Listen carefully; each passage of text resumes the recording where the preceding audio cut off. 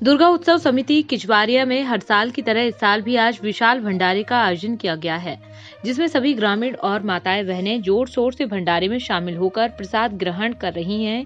और देवी माँ का आशीर्वाद ले रही हैं। हर साल की भांति इस साल भी दुर्गा उत्सव समिति के कार्यकर्ता विक्रम सिंह गब्बर, युवा समाज सेवी अभिमन्यु प्रताप सिंह, राजेंद्र प्रताप सिंह रोहित और सभी कार्यकर्ता हर साल की तरह इस साल भी भंडारे का और नव दुर्गा उत्सव का सफल आयोजन कर रहे हैं।